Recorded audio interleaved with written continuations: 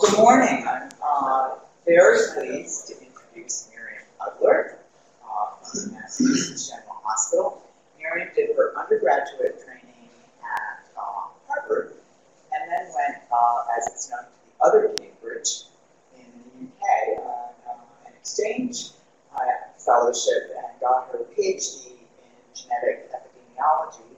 Came back to Boston area for medical school and then came here as uh, an intern resident, and then back to Boston, where she did her fellowship and is now a faculty member at uh, Harvard General Hospital, and uh, has done uh, her postdoctoral work uh, with Jose Florez, who gave a nice introduction, and preview of the work that she's going to present to us. But she now has a K award and uh, had a very important publication recently. I think one things we're realizing that diseases, complex common genetic diseases like type 2 diabetes and PCOS, is that they're really aggregations of disease subtypes. And she's done some of the really kind of innovative work of identifying those subtypes. And she's going to uh, talk to us about that this morning. So, Miriam.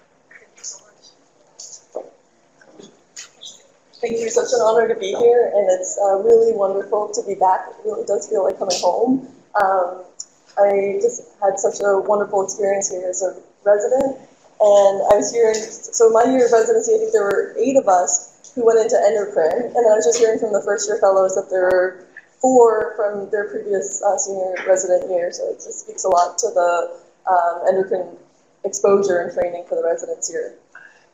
So I'm going to be speaking about um, genetics and understanding subtyping of uh, diabetes. And um, I think at the heart of this is this question of when we see patients in clinic, how do we know, you know, which medication to give to which patient, especially now where we're in some ways very fortunate that in diabetes there's a number of medications to choose from. So, I, you know, thinking about this decision of how to treat each patient, the question at the back of our minds is always, you know, what type of diabetes does this patient have? So if you ask someone who's not an endocrinologist, they'll think, oh, well, there's type 1 and type 2 diabetes. If you're an endocrinologist, you know that it's a little bit more complicated than that, that there's, we recognize additional types. There's ketosis prone, latent autoimmune diabetes of adulthood, or LADA, type 1 diabetes, monogenic, and other forms. So I'm going to speak about how genetics can be useful in, um, in in clinic to determine type of diabetes. And this is, I'm going to start by just giving a little bit of background in terms of where we are right now. And actually, something I think is really exciting is that already in uh, the space of monogenic diabetes, precision medicine exists. Um, and it's really a model for us in thinking about how we can apply that to complex disease, uh, type 2 diabetes and then moving to the future of how we can then incorporate um, more complex uh, disease genetics for subtyping type 2 diabetes. So I'm going to start off with a case. Uh, this is a patient that I saw in clinic. This is not the actual patient, uh, but he was a 22-year-old who was diagnosed with 20 at age 20 when he had a hemoglobin A1C that was checked before he was went on a study abroad trip. He was a university student, and he was a really lean you know, healthy young guy. His BMI was 17.7. He had a normal physical exam, and he had a hemoglobin A1C that just reached the, the cutoff for type 2 diabetes, for diabetes at uh, 6.5%, but he was kind of hovering in that pre-diabetes to diabetes range. So you might be thinking, a young, lean guy um, with uh, diagnosed with diabetes, you know, could this be type 1, but he actually had negative islet cell antibodies, and he was not on any medications when I saw him with that hemoglobin A1C of 6.5%, but he was working really hard to adhere to a low carb diet and was really concerned about, you know, why was this happening to him? He seemed like he was young and healthy. So in speaking to him about his family, it turned out his father was, diagnosed with diabetes in his 40s, and he had a, a maternal uncle who was diagnosed in his 50s kind of think about this patient and what kind of diabetes he might have, um, you know, it's possible it's type 2, and I think that's sort of our default. Um, it's not likely ketosis prone. He never had diabetic ketoacidosis, and he had negative antibodies, so it's probably not uh, LADA or type 1. So that leaves also this possibility of monogenic diabetes. So what is monogenic diabetes? Um, it's, as you're probably aware, it's diabetes caused by uh, genetic mutation in one gene. And it actually accounts for about 1% to 4% of all diabetes, so it's not really rare, but about 80% of cases are undiagnosed, so it's often not recognized, and I'll explain a little bit more why that is. So when we think of monogenic diabetes, there are kind of two categories. Uh, there's neonatal diabetes and maturity onset diabetes of the young, or MODY. Um, in adults, we're typically going to be thinking about MODY because the, the, the difference in these two conditions has to do with um, mostly the time that they're of onset of diabetes. So neonatal diabetes is typically diagnosed by the first six to nine months of age, whereas MODY is um, later in life. Uh, peak diagnoses are between 10 to 25 years of age, so um, overlapping a lot more with other forms of diabetes like type 1 and type 2 in terms of the age of onset. And then there's a bunch of different uh, genes, I'm not showing all of them here, but that have been identified as um, causing these conditions, and there's actually a lot of overlap as well between the two conditions. And there are other rare monogenic diabetes syndromes, uh, like lipodystrophy, mitochondrial diabetes, um, but MODY is actually the most common form of monogenic diabetes, and the one that we're most likely to encounter in patients we see. So when should we think about it? Um, the kind of key hallmarks are that it tends to occur, so we see it in patients that are diagnosed at a relatively young age, typically less than 35, have um, diabetes running in their family, so MODY's autosomal dominant inheritance. Uh, typically, patients are non-obese and have negative islet cell antibodies.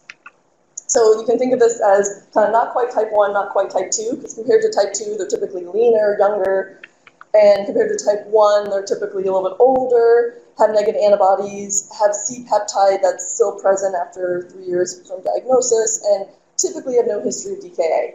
Now, the, issue, the, kind of the part of all this is that nothing's absolute. So in our patient, he had actually all four of those criteria, but um, you know, we often see, and I'll tell you about another patient later, that it's it's not obvious. Um, and these even these you know these things not quite type one, not quite type two. It's it's a little bit wishy-washy. So thankfully, one thing that can be helpful is there's now a calculator tool out there for free. So University of Exeter in England, they've really been leading the way for um, monogenic diabetes and uh, MODY research, and they've developed this MODY probability calculator tool, where if you see a patient, you can just enter in, it's about like 10 different very simple questions. So their age at diagnosis, their sex, whether they're currently treated with insulin or oral hyperglycemic agent, um, the time to insulin treatment, body mass index, hemoglobin A1C, current age, and whether a parent's affected. So those are really easy pieces of information to get during your clinic visit. You can just pop in the information, and it gives you a probability. Um, it's also the same calculator is available on your smartphone, so you can go ahead and download it. Um, I think it's really useful. So with this patient, uh, because he had these features that, and his actually he was seen by an, an outside an endocrinologist at a um, affiliate hospital, um, and she actually, you know, MODY came into her mind, so she referred him to the Mass General Diabetes Genetics Clinic, where we see patients that are either suspected to have MODY and we offer genetic testing, or patients with no MODY that we can uh, help guide their management. And in the visit, um, I won't go through all this, but there's it actually you'll have like a consult visit for an hour where we see this, the patients go through a detailed family history, um, explain to them about common types of diabetes, and explain uh, what MODY is, um, what it means to get genetic testing, what possible results are, because um, as you probably know, when you get genetic testing in a patient, it's not always a yes and no. Sometimes there's a maybe. You can get a something called a VUS or a variant of uncertain significance. And so it's um, it can, you know patients need to know that that's a possibility that their test won't be absolutely informative. Um, and then the risks and benefits of genetic testing. So I'm just going to briefly tell you about for this patient what it meant in, during as part of his uh, diagnostic workup to uh, estimate his MODY probability and, and describe the different uh, types of MODY and their implications. So when I entered in the information for this patient, his probability on the calculator came up at 75.5%, which is the, actually the highest that you can get on the calculator. Um, so why do we care? Why is it even, why bother? Ordering genetic testing can be sometimes, like, you know, it can be a lot of work sometimes to order testing, so why should we do this? Well, there's three main categories of MODY. Um, and you can, so there's three genes that account for uh, over 90% of cases that get diagnosed. And you can kind of bin the different types of MODY just to make it really simple into three categories. GCK, glucokinase, uh, HNF1 alpha and HNF4 alpha, or other. And the reason that it matters is that uh, GCK, if a, you see a patient that has GCK, you can actually tell them they can stop any medications that they're on. Um, I'll explain a little bit more, but it's not in any way, their hyperglycemia is in some ways physiologic. It's actually not dangerous. You don't have to treat it. Um, HNF1 alpha and HNF4 alpha, um, these patients are often very sensitive to sulfonylureas, and so they can be transitioned if they're already on, if they don't know about their diagnosis and they were presumed to be type 1 or type 2 but put on insulin, they can often come off of insulin and be, and be treated with an oral agent, um, which is wonderful for the patient to stop having to do injections and take a pill.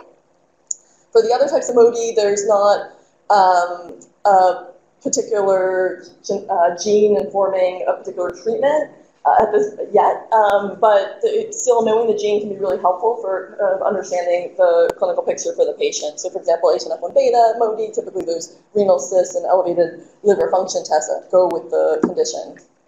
So, with GCK, um, so uh, GCK encodes glucokinase, and so it's kind of the glucose sensor, glucostat for the, uh, the, the uh, beta cells of the pancreas and, and for like the body for regulating where the normal range of glucose is. Uh, I actually saw that it was on the board here, so I guess I thought maybe it was like the last talk you guys had. I, I didn't put that. Uh, it was like really cool when I came and I saw that. but it's essentially, um, yeah, just so when this gene isn't working because there's a mutation in it, the normal range of glucose just gets shifted slightly up, and it's only just a little bit, and the glucose is still regulated so these patients will have a hemoglobin A1C typically in the 6 to 7% range without needing any medications. Um, and even if you try to treat them, the body will be very resistant and still try to keep the glucose in that range. So what it means is that you can actually stop uh, treatment. Um, there's been studies looking at complication risk, and they're actually not at uh, significant risk for complications. There are some special considerations during pregnancy that um, where you have to know for to determine whether to treat the mom. It actually has to do with whether the fetus carries the mutation or not. I'm not going to go into that, but just for you to be aware. And then HNF1 alpha and HNF4 alpha, as I mentioned, so these are transcription factors that uh, work in the beta cell. There's um, a lot more variability in presentation than GCK. Often patients will be on insulin when they're diagnosed, and it's it, they are at risk for complications. It's a progressive disease, so they need to be treated. But as I mentioned, you can often treat them with sulfonylureas. Okay, and then uh, we, so when we order genetic testing, there's um, a bunch of companies that now offer it that we, you can actually get a free kit in the mail um, from the companies that, and then when you're ordering the panel, they're doing sequencing and deletion duplication analysis. Um, it just takes a few weeks to return, and it's often covered by U.S. insurances, which has been a, kind of a progress in the last few years. So that's um, really important that we can actually uh, offer this to patients now. And the reason I think that it's offered by insurance companies is that they realize that it's cost effective. So there's this was a study that was done in 2014, um, and if anything, costs of genetic testing are continuing to drop, so it's even probably more cost effective now. But in this study, they said that if the prevalence in a population was, pred- was predicted to be greater than 30% of patients having MODY, that it would be cost effective. So that the way I kind of translate that is if I see a patient and I think the probability is more than 30% that patient has MODY, I should order genetic testing. And it's probably even lower now.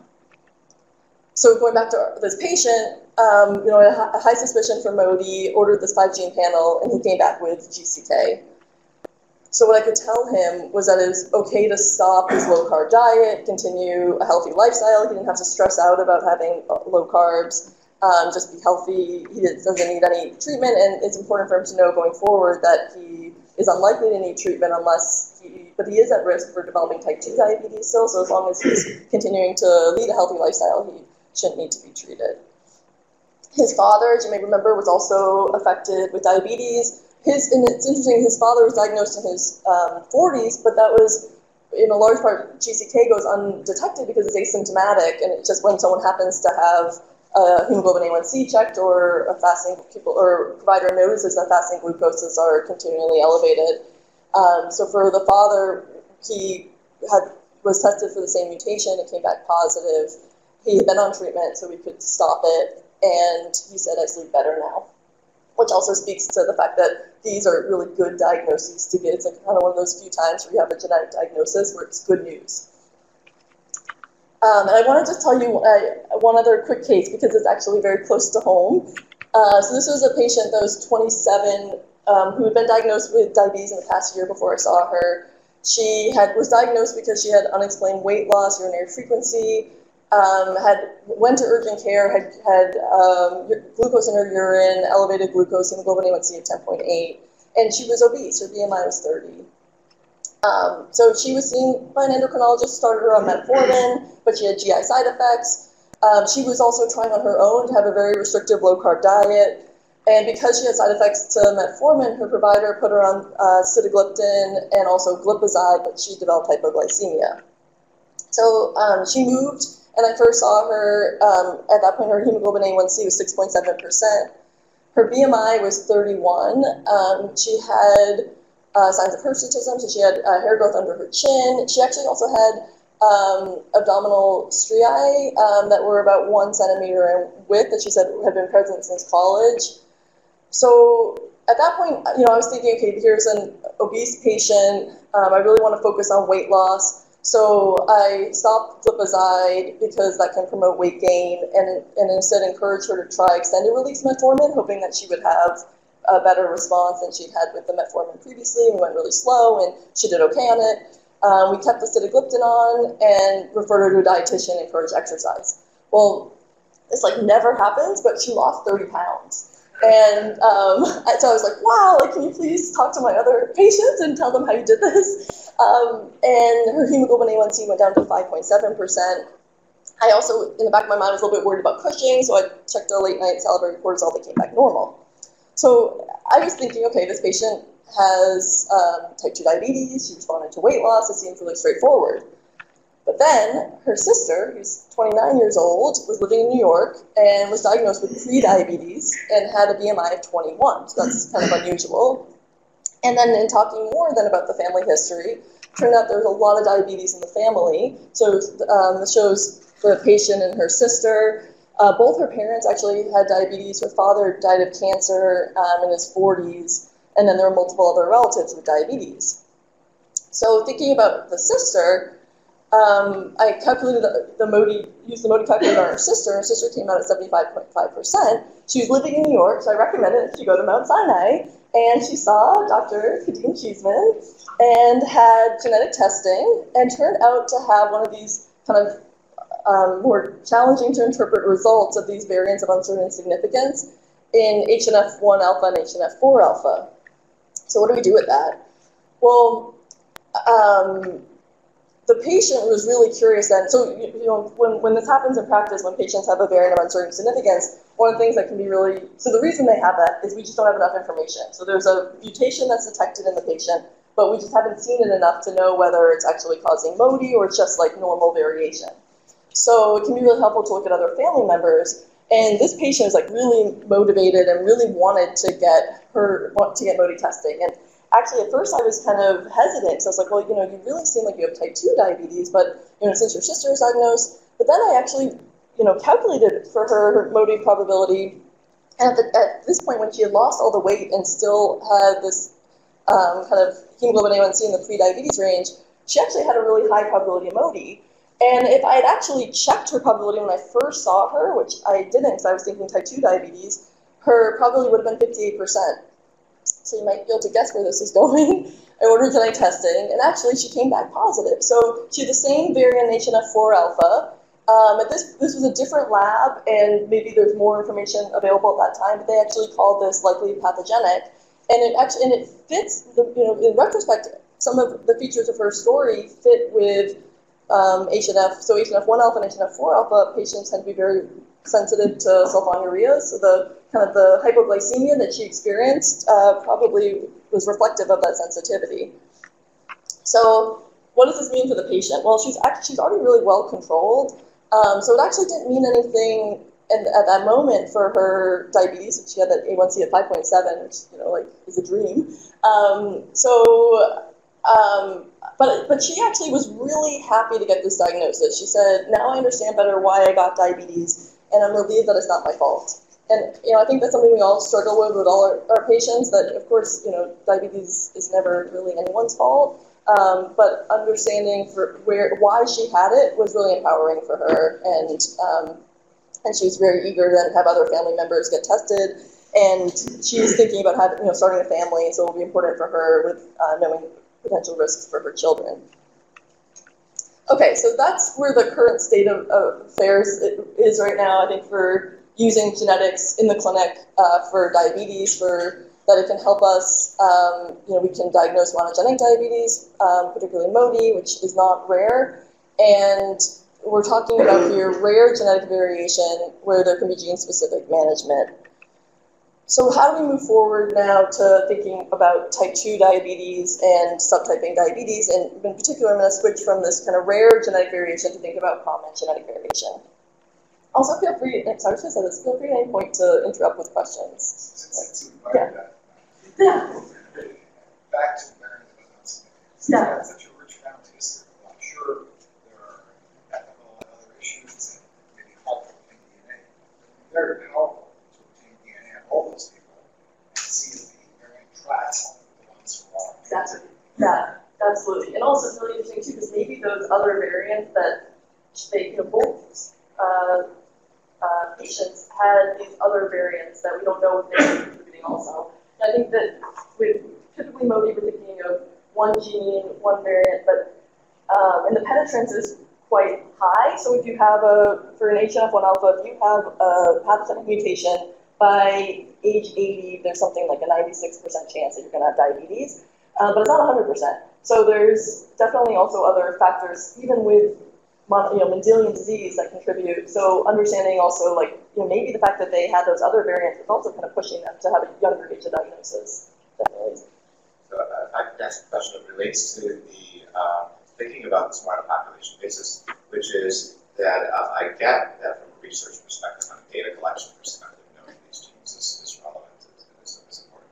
But let's say for the GCK diagnosis specifically, um, I'm thinking as a practical matter, much as there might be a little bit of trepidation about Um, how is the approach really all that different from, um, from what we would do for anybody we saw it? Maybe our, if we're tightening up our A1C criteria and calling things prediabetes, are we pushing people into this category where they get treated where maybe if we were a little more relaxed at that point and yeah. use diet more frequently, we wouldn't have been treating many, we would the same price. Yeah, that's a good point. And um, it, it definitely makes you wonder because this there, that pre-diabetes range, you know, is that I think there's a lot of controversy around that. There was actually just recently a uh, someone writing about that in is it Nature or Science? There was some commentary on the fact that we're overdiagnosing pre-diabetes.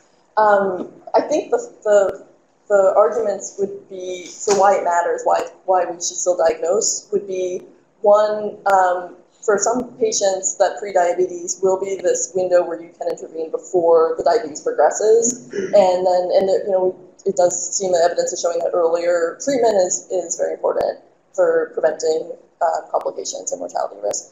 Um, so, if, of course, we don't know which patients are going to progress and which ones are going to kind of linger in that range. And the other aspect is, in particular, with GCK, um, the fact that for women it's a big deal knowing for during pregnancy. So I have a patient that uh, was diagnosed with GCK this past year, had already had four children, and all the children, for all her children, she had intensive insulin treatment during pregnancy. It was awful. She had lots of hypoglycemia, and um, when she got her diagnosis, that was like the major thing on her mind was that she was really angry. She's like, if I had known this, because if she had known that she had GCK, and she had known that that some of so two of her children probably carried the mutation. She wouldn't have needed any management, any treatment during pregnancy for those patients, for those um, ch- children.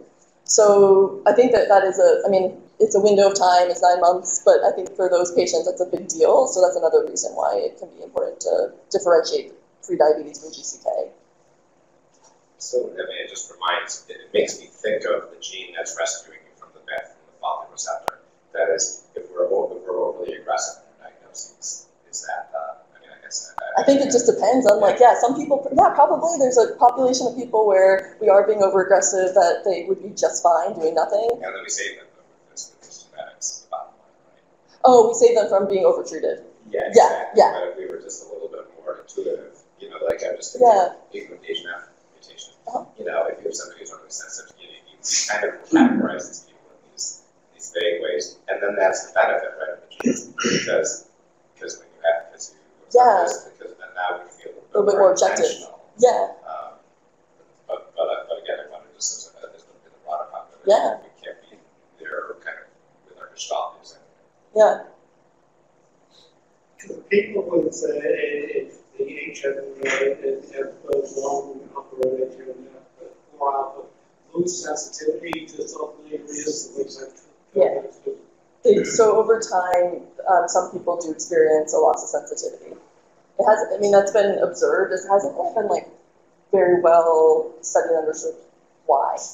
Yeah. If you could comment on Hattersley's estimate that one in a thousand people have GCK mutations, mm -hmm. and, and, the majority are not diagnosed. They might be diagnosed in their 60s and 70s, put on insulin and formula. They don't need any treatment. Yeah. One in a thousand is a huge.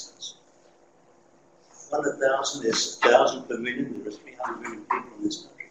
There may be 300,000 people with GCK mutations, and, they, and, they, and when they get diagnosed, they get treated uh, inappropriately, unnecessarily, and actually there are more problems. So I, Dr. Farley, an expert in the field, so it's um, thank you for, for saying that, and um, yeah, I'm grateful for your input. So uh, for so thinking now about type 2 diabetes, um, you know, as I mentioned, there is a lot of heterogeneity we see in patients, and the reason why there's this, all this heterogeneity is that our actual way of diagnosing diabetes right now is very nonspecific. So it's really just hyperglycemia, high glucose, which can be caused by many different possible pathways. So in a sense, type 2 diabetes is this waste bucket diagnosis where we basically say someone doesn't have these other things, and so therefore it's type 2. Um, so I'm going to tell you about uh, the work we've been doing using genetics, but I want to step back for a minute and say, you know, why should we use genetics in subtype disease? Uh, what other approaches have been used? So there's um, one of the first studies trying to use clinical characteristics on a broad scale to subtype uh, type 2 diabetes came from Sinai. Um, so there were, it was using BioMe, there, it was just a few years ago. Um, so just over 2,500 patients with type 2 diabetes looking at 73 clinical features. And there were three subtypes that were identified. So this was really cool. I think it kind of set the stage for um, using big data and thinking about machine learning approaches. This particular analysis, um, I think the, the, what would be really cool as a next step would be being able to replicate this in another population, which hasn't been done yet. So it's kind of taking the same algorithm and applying it. It's just, I think, a lot of it's restraints and being able to access data, but that would be ideal. Most recently, um, there's a paper that came out from in Lancet Diabetes and Endocrinology that was uh, out of Leif Groop's group in uh, Scandinavia. So there were five large cohorts uh, with a discovery cohort of close to 9,000 individuals with any form of diabetes. So they, these patients were um, entered into the study right at the time of diagnosis of diabetes and had uh, six traits measured. So they had an, GAD antibody, age, body mass index, hemoglobin A1C, homeostatic um, assessment for beta cell function and insulin resistance. So for people who aren't familiar with HOMA-B and HOMA-IR, these are just taking um, uh, fasting, glucose fasting insulin and use and looking at the relationships of those two uh, measures to estimate beta cell function and insulin resistance. And they used a form of clustering called k-means and identified uh, five clusters that they actually saw were quite reproducible. They were able to then apply this to these other four cohorts for replication. So these clusters, so the first cluster was a severe autoimmune form of diabetes, which um, we can think of as probably representing like type 1. Then there was a severe insulin deficient uh, form of diabetes, a severe insulin resistant form, a mild obesity related, and a mild age related. Um, these they were able to show that these categorizations were important for um, differences in the groups for time to insulin use, time to chronic kidney disease, with other complications, and uh, coronary artery disease. So I think this is uh, is really exciting. Um, but it does, there's some, there's definitely some limitations that it's just worth discussing. So one is that all these patients in, in th- this particular study were um, had their variables measured right at the time of diagnosis of diabetes. But in real life, you know, we see patients at various courses along um, their, the disease, and some of these measurements, like body mass index, hemoglobin A1C, are going to change uh, depending on the time that you measure them. Uh, and then the, kind of the case for using genetics is that the, the, genetic biomarkers don't change. You can measure them anytime, and they'll they'll always be essentially the same, and they're so unaffected by treatment or disease course. Uh, when we look at when we see those kind of groupings that come out, it's uh, it's unclear what that really means. Um, so what mechanisms underlying why a patient is in the age-related form of diabetes. But um, anytime we can link something to that to genetics, we have uh, a, a mechanism in mind, so a potential path to, to therapy as well. And then, um, you know, how do we actually take those clusters that were shown there and apply them to patients? So in, in practice, what you would really need, ideally, would be to take your patient and put them into the with the large population of people that got clustered and see where that person clusters. But I mean, that's not uh, you know possible right now it may be that eventually there'll be some tools that can be used, but right now I think that's a, an issue with the, those uh, clustering approaches as to how we can take our, our, own patient and understand which group they fall into. Um, and with genetics, I'll tell you about there's some potential route for uh, clinical uh, application.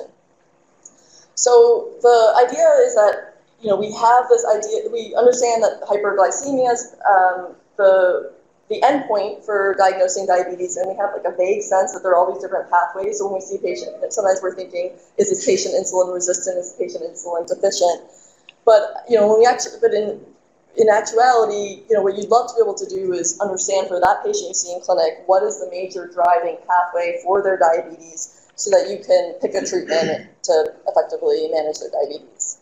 So we have all this genetic information now from uh, many years of large-scale genetic uh, association studies. So these are studies where you have tens of thousands of people with type 2 diabetes and without diabetes where you're comparing genetic variation and looking to see which genetic variants are associated with disease.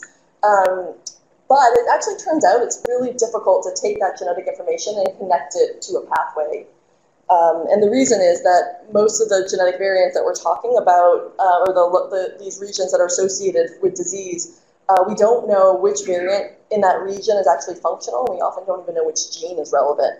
So uh, we were interested in trying to use this, you know, the genetic information and um, apply it uh, to apply a clustering algorithm I'll tell you about. So we looked at, we focused on 94 type 2 diabetes genetic loci and a bunch of different traits that were publicly available from Genome-Wide Association Study Summary Statistics. So these were traits related to glycemia, anthropometrics, and various labs like lipid measures, leptin, adiponectin, uh, fatty acid levels.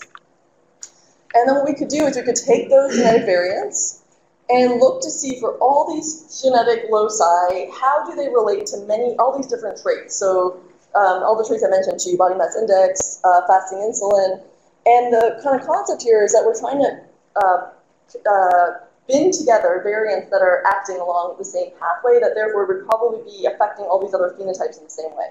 So what I mean is that you could have a set of variants that are increasing body mass index, um, increasing waist circumference, increasing triglycerides, it kind of looks like an obesity phenotype. And then by grouping them together and kind of looking at the traits that are salient that are that are causing the variants to be grouped together, you can kind of infer what the mechanistic pathway is. When we, we did this, we applied this, um, a Bayesian clustering method called non-negative matrix factorization, and we saw there were five clusters that came out of the analysis. So I'm going to take you through what these five clusters were. Um, they were grouped uh, into two uh, categories, insulin deficiency and, and, insulin resistance. So the first two we uh, believe were, related to insulin deficiency because the variants that increase diabetes risk decrease fasting insulin levels, so a, a relative insulin deficiency. They differed by their pro-insulin level. So the, uh, the, the first cluster, which we call beta cell cluster, actually was associated with decreased fasting insulin but increased pro-insulin. And there are a bunch of genes that um, have, or loci where we actually know some of the biology that uh, therefore we can suspect the mechanism relates to insulin processing and secretion. So as you'll notice, included there are HNF1 alpha and HNF4 alpha. And then with uh, the second cluster, so here we have decreased fasting insulin and decreased proinsulin. So um, as proinsulin is a, a, precursor in insulin production, I think this relates to insulin synthesis. And then the last three clusters are all associated with elevated uh, fasting insulin levels. So um, mechanisms of insulin resistance. The first is um, this increased body mass, percent body fat, well-known obesity genetic loci, FTO, MC4R. Uh, so we think this is an obesity-mediated form of insulin resistance. And then, interestingly, the next one, there's increased fasting insulin, but decreased BMI and percent body fat. So there's um, several, of the genes are have been um, implicated in adipocyte differentiation. So, for example, PPAR gamma causes uh, a Mendelian form of lipodystrophy. So we think this is a fat distribution mediated form of insulin resistance, so kind of fat in the wrong places. And then finally, I think actually this cluster is, in my mind, one of the most interesting, so it kind of points to a mechanism that I don't think I had never known about before, which is um, increasing fasting insulin but so a form of insulin resistance that's actually liver centric. So uh, several of the loci that fell into this cluster had been associated with non-alcoholic fatty liver disease, and the biology for TM6SF2 and PNPLA3 had been worked out that they these genes are involved in um, secretion of lipid from the liver, triglycerides from the liver. So what happens is when these genes are defective, fat is essentially like stuck in the liver. So there's a fatty, fatty liver, and therefore, what we see is in patients that there's a relative decrease in serum triglyceride levels. So it's kind of counterintuitive. It's, it's insulin resistance, but decreased triglyceride levels. So we wanted additional support that these clusters were actually bio, biologically meaningful. So we looked at, we used um, publicly available data from Roadmap Epigenomics Project, and essentially asked for in for each of these clusters are there any, um, do we see active DNA elements that in particular tissues? And we did. We, so we see that there's different um, distribution of which tissues are most relevant, and also there are the tissues that we had suspected biologically. So, for example, the liver lipid cluster was most enriched for active um, liver tissue, and lipodystrophy for adipose, uh, the beta cell for pancreatic islet cells. And then finally, how do we bring this back to patients? Can we bring this back to patients? So this is um, where I'm going to tell you where we are. This is kind of an ongoing challenge now to be able to take these different pathways and then bring them back to treating patients. We looked at 17,000 individuals with type 2 diabetes from four different cohorts. Uh, these were uh, both uh, longitudinal cohorts, but also um, biobanks, so the Partners Biobank and UK Biobank. And what we did is for each individual with type 2 diabetes, we can calculate a genetic risk score for the five different clusters. And what I mean by that is just essentially ask how many hits does a person have along these different five clusters, or five pathways you can think of. And we wanted to know whether the people that had the most hits in a given pathway, whether their diabetes was kind of different from other people with diabetes. Could we distinguish them clinically? And we saw that we actually could. So the people that had the most um, hits in the insulin deficiency pathways, the beta cell and the proinsulin, had lower C-peptide levels, so um, indicative of um, insulin deficiency, lower fasting insulin levels. The those so those in the obesity cluster tended to be more obese. Those in the lipodystrophy cluster tended to be have lower BMI, but actually still be have higher fasting insulin levels and those in the liver lipid cluster had lower triglyceride levels. And what we saw was that about if we use a cutoff of the top 10th percentile for each cluster, that actually about 30% of all the participants would be classified into just one cluster. So to summarize that, it's essentially we can use common genetic variation to identify five uh, key pathways uh, causing type 2 diabetes and potentially start to potentially start to stratify patients into these subtypes. Where we're going now is to try to expand this work. So there's been, since this work was published, there's now been many more loci identified for type 2 diabetes. Um, we can also add more traits, and then looked in the, I think the most critical piece is to determine whether it matters. So if you can put somebody in a particular cluster does that tell you anything about their disease course or how they'll respond to treatment? And then the same approach can definitely be applied to other conditions. So as Dr. Nathan mentioned, it can be applied to PCOS, it can be applied to coronary artery disease. Like, so we're starting to think about where we can also other, really all complex uh, diseases, we can start to dissect. So that, um, I just want to acknowledge the contributors, many contributors to this work, both um, at the Florez Lab at Mass General and also the Broad Institute. And we have uh, collaborators um, at uh, Children's Hospital, um, UCSD, and the Barcelona Supercomputing Center. So thank you so much for your attention. I'm happy to take any questions.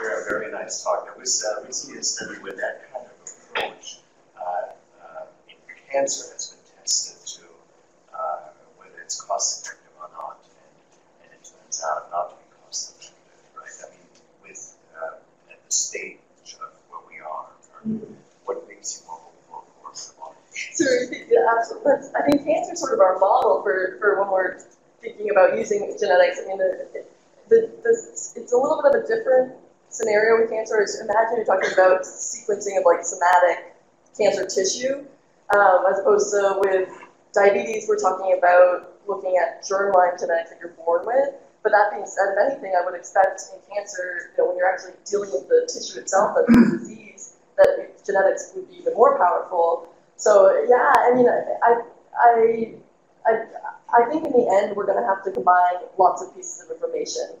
Um, I think that the genetics can tell us something, but we also need to pull in clinical factors as well and kind of have a more complete picture.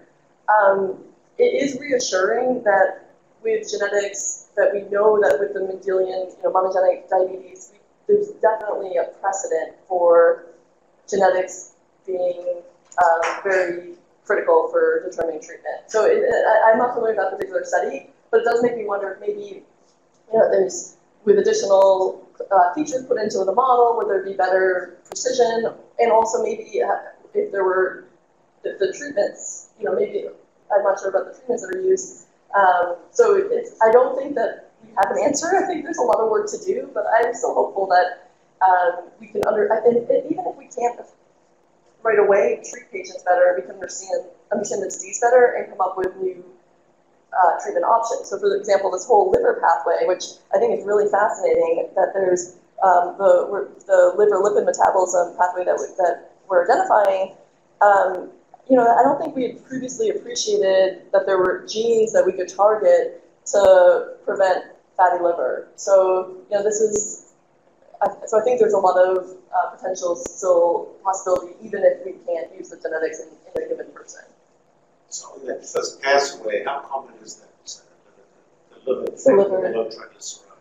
Well, so um, there's so the way we're right now the way we're defining for any clusters, we took the top tenth percentile. So then it would be about um, and and then about 75% of that, those people are unique to that cluster. So it would be about 7.5% of individuals would fall in that extreme. I don't know where the right cutoff is, so it could be smaller than that. Actually, as a for that, sorry. Uh, why do you think is this uh, represent liver insulin resistance? Because after all, insulin suppresses the LDL secretion. You could argue exactly the opposite, that there is selective insulin sensitivity that blocks GG mobilization, and that's what leads to fatty liver. Um, well, I think there's I think there's many different pathways leading to fatty liver. This is just this particular pathway. The genes involved have been well. So two of the genes are GC. Uh, so there's GCKRs, and we'll study PNPLA3 and TM6SF2. And the mouse models um, really clearly show a liver phenotype, a liver primary phenotype for those particular genes. I, I agree with you. There's definitely going to be other contributions, but here we have there's like knockout mice where you can recapitulate the phenotype and um, and the you know the expression of these genes is, is primary liver. Um, so it's resistance, pre as the first step before insulin resistance. So there's first the you have first the the fat accumulation as the initial step in the liver. Yeah. Um, I think you deserve a lot of credit actually uh, for advancing the field. It's, it's very nice, very nice. cost effectiveness aside, uh, quite a few prospects. Uh, the comment, there's a JAMA paper recently showing not cost effectiveness, but in real practices. This is Flatiron and uh, foundation medicine, cancer. Cancer, as you said, is a lot easier, right? Because it's, it's a single uh, kind of moment in time. And part of the issue of cost effectiveness, you may find the driving mutation, but there's just no drug that's effective to treat it. So you, you need to. But back to your talk, uh, you really have advanced it. When I, when I was the NIU kid director, I had to testify in Congress, uh, and my categorization of the subtypes of type 2 diabetes, not you know being pejorative to southern congressmen, I likened it to a pickup truck. And so the defects were twofold. We either loaded too much into the flatbed of the pickup truck, insulin resistance, or there was a problem with the engine and So that was my diagnosis. But more seriously, uh, I actually, I'm embarrassed to say, was asked to uh, do a thing in health affairs that had a diabetes issue, and it was actually about precision medicine, personalized, and it was you know, very early days. Uh, but at the time, doing the vet literature, there was not much from GWAS. There seemed to be metabolomic studies. There's at least one Nature Medicine paper with a particular metabolomic profile involving certain maybe branched chain amino acids that might be predictive. Anything on that? So I'm familiar with um, the there's I think metabolomics. It's the I'm some familiar with the field, and my sense is there's a few key metabolites that have been reproducibly associated with diabetes, but it's been very murky because it's They don't dichotomize. or- no. And one of the issues with metabolomics is like the cause and effect. It's like is are are you it's you know are you catching like why does a person have a particular metabolite? Is it their diet? Is it you know what, what, so it's not. I think that's This was, this was a somewhat longitudinal thing, if I recall. It was from the typing campus. Yeah, I- And yeah. It was Bob Yeah. and Jose was on the. yeah. And, you So the, Last, last good point, and it's a very recent cell paper from your institution. Oh, yeah, Maybe, with maybe, obesity. maybe you're reading a co No, That yeah. So this is showing internalization of the insulin receptor uh, into the nucleus and modifying gene expression. That's astounding. And, and they, you know, they pointed out that there actually history. I think Ira Goldfine had been publishing this kind of for years, probably nobody paid attention to it. This, this paper looked very lucrative. I'm not familiar with it. So there's It's internalization. Literally from MGH and growth. Oh, neat. And I just thought that that may have all kinds of new information. In fact, the, the, the DNA areas that were receptors associated with were uh, regulating genes that are involved in uh, insulin regulated pathways. Oh, neat. I'll have to check that out. Yeah. Thanks.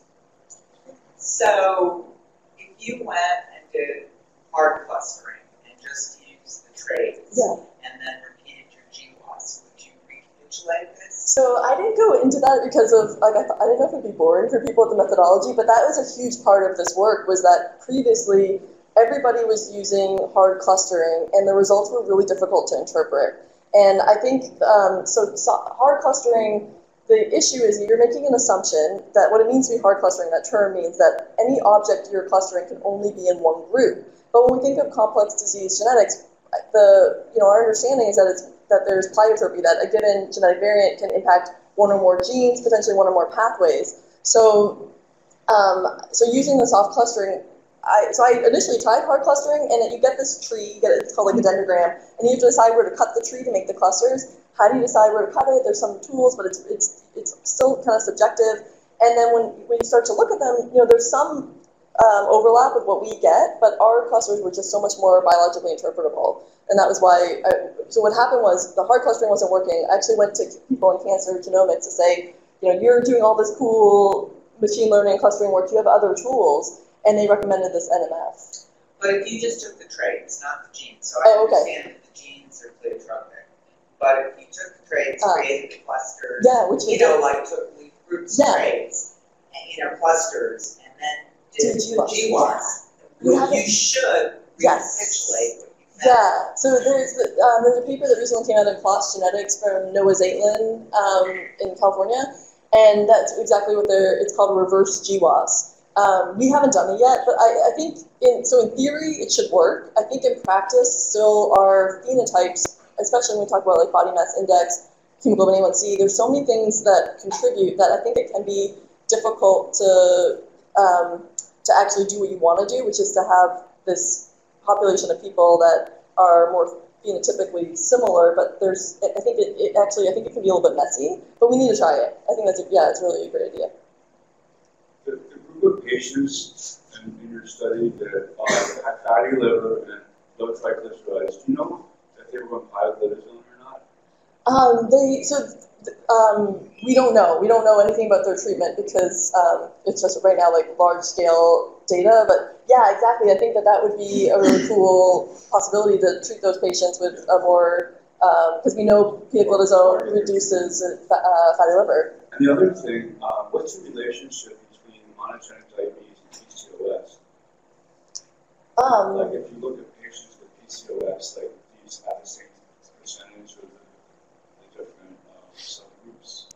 so I wouldn't have thought so because so with um, you know mo- the most common form of monogenic with MODY, it's uh, beta cell. I don't think you're as likely to see the kind of metabolic phenotype that we think of with PCOS. Um, but there's other forms of monogenic diabetes where you do that are more insulin resistant, um, where you have the insulin receptor mutated. Um, but there's uh, so in those patients, I think that they there can be I'm thinking whether, yeah, they can, I believe that they can, yeah, because one of the things with insulin resistance, you can get hirsutism. So even in those patients, yeah, there are, but that's specific. It's not what I was talking about with MODY. And you guys may also, other people in the room may know more about that in terms of monogenic disease with PCOS. I mean, there are, yeah. as we sequence through our thousands of patients, we find a few lamin AC oh. and occasional insulin receptor, I mean, yeah. which show that they're biologically relevant, but I'm sure within the you know, agglomeration piece, what's interesting is a lot of my patients would come up as high probability of MODY, you know, the ones who want that obese, because I see young women all the time, you know, in their early twenties, type two diabetes, and maybe I should start doing MODY testing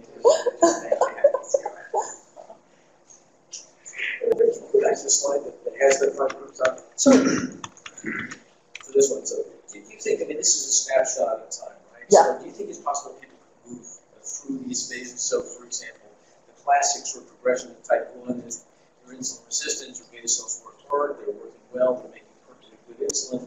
Then with time, you get either stress, and now they're not making insulin quite as well, and they're making more pro-insulin because they've got air stress and they can't process it.